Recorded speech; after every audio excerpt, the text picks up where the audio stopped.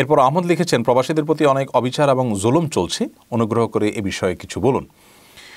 অত্যন্ত দুঃখজনক বিষয় যে প্রবাসীরা আমাদের দেশের আর্থসামাজিক উন্নয়নে সবচেয়ে জোরালো ভূমিকা রেখে চলেছেন, যাদের মাধ্যমে আমাদের অর্থনীতির চাকা ঘুরতে থাকে অনেক সচলভাবে। সেই লোকগুলোকে আমরা বরাবর অমর্যাদা করে থাকি এবং তাদের দিকে আমরা কেউই দৃষ্টিপাত করি না।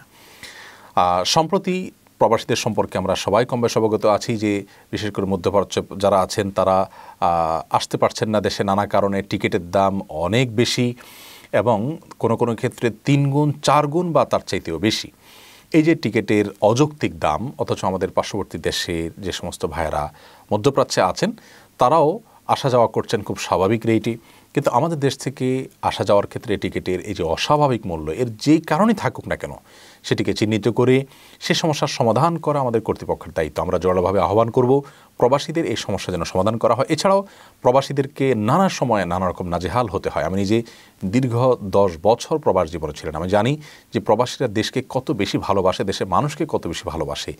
বিমানটা দেশের মাটিতে ল্যান্ড করার অনেক আগে থেকে তারা দেশের মাটিটা একটু দেখবার জন্য দাঁড়িয়ে যান। প্রবাসী থেকে নিজেদের শত ব্যস্ত থাকা সত্ত্বেও, শত ঝামেলার মধ্যে থাকা সত্ত্বেও, শত কষ্টে থাকা সত্ত্বেও দেশের একটু সংবাদ জানার জন্য তারা ব্যাকুল এবং অস্থির হয়ে ওঠেন। সৌদি আরবে যখন আমি ইসলামিক অ্যাফেয়ার্স মন্ত্রণালয়ের অধীনে দায়িত্ব পালন করছিলাম, তখন আমাদের দায়িত্বের অংশ হিসাবে জেলখানায় বন্দি বাংলাদেশিদেরকে দাওয়াতি কাজ করার জন্য আমরা যেতাম সপ্তাহে একবার। সেখানে বাংলাদেশিরা আমাদেরকে দেখলেই সর্বপ্রথম দেশের কথা জিজ্ঞাসা করতেন যে, আমাদের দেশের কী অবস্থা? একটু শোনান। তো সেই প্রবাসীদের প্রতি অবিচার, তাদের প্রতি জুলুম, তাদের প্রতি বৈষম্য, তাদেরকে অসম্মান এবং তাদের স্বার্থ সংশ্লিষ্ট বিষয়গুলোকে অবহেলা করা বা না দেখা, তাদের সমস্যার সমাধান না করা, এটি আমাদের জন্য রীতিমতো অকৃতজ্ঞতার সামিল। আল্লাহ তালা কখনো অকৃতজ্ঞদেরকে পছন্দ করেন না আর আল্লাহ নেয়ামতের অকৃতজ্ঞতা যদি কেউ আদায় করে, আল্লাহ সে নেয়ামত ছিনিয়ে নেন। যার কারণে প্রবাস থেকে যে সমস্ত আর্থসামাজিক উন্নয়নে প্রবাসীরা ভূমিকা রেখে চলেছেন, তাদের সেই ভূমিকা যদি অব্যাহত থাকুক আমরা চাই, তাহলে প্রবাসীদেরকে আমাদের শ্রদ্ধা করতে হবে, সম্মান করতে হবে। আমরা সাধারণ মানুষরা প্রবাসীদের প্রতি যেমন জুলুম করে থাকি আত্মীয় স্বজনরা পর্যন্ত জুলুম করে থাকে, তাদের সম্পদকে আত্মসাৎ করে থাকেন অনেকেই।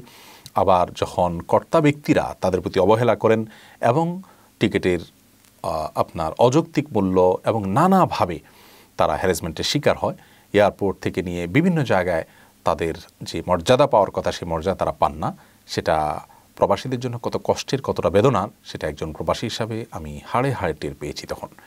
আমি দোয়া করি আল্লাহ তালা আমাদের প্রবাসী ভাইদের সমস্যার সমাধান করুন এবং কর্তা ব্যক্তিরা যেন তাদের প্রতি আন্তরিক হন এবং দায়িত্বশীল আচরণ করেন। সেই বিষয়টি তাদের নজরে যেন আসে সেই বিষয়ে আমাদের আকুল আবেদন থাকল। আল্লাহ তালা প্রবাসী ভাইদেরকে ধৈর্য ধারণ করার তৌফিক দান করুন এবং তাদের এই কষ্টের উত্তম বিনিময়ে আল্লাহ তালা দান করুন।